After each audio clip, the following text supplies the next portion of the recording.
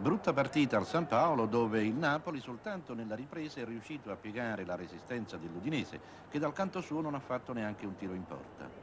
Dopo aver segnato gli azzurri hanno avuto altre occasioni per legittimare il successo ma non hanno saputo sfruttarle. I pochi applausi del pubblico sono stati tutti per Kroll, definitivamente riscattato dal Vancouver e come sempre impeccabile. Dopo l'azione di Damiani che abbiamo già visto, eccone una di Pellegrini che al dodicesimo, al termine di una lunga fuga, crossa teso. Con un tuffo spericolato, Tesser mette in angolo.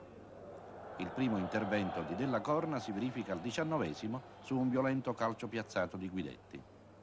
Il tempo offre ben poco. Scegliamo tra le rare annotazioni questa discesa di Vinazzani che dopo due rimpalli favorevoli manda oltre la traversa. Si riprende con l'unico tentativo di conclusione dei bianconeri, ma il sinistro di Zanone finisce sull'esterno della rete di Castellini. A questo punto comincia il forcing partenopeo che si fa progressivamente più ardente, anche se costellato di errori. Riesce almeno però a chiudere gli avversari nella loro metà campo, a collezionare corner a ripetizione, ecco di nuovo Tessera a spezzare all'ultimo momento un'incursione di Damiani e a costringere al fallo e all'affanno la difesa friulana appunto su una rimessa laterale al ventesimo il gol azzurro. Il passaggio finale di Marangon è perfetto, Guidetti svetta e insacca di testa. Il Napoli potrebbe arricchire il bottino tre minuti dopo.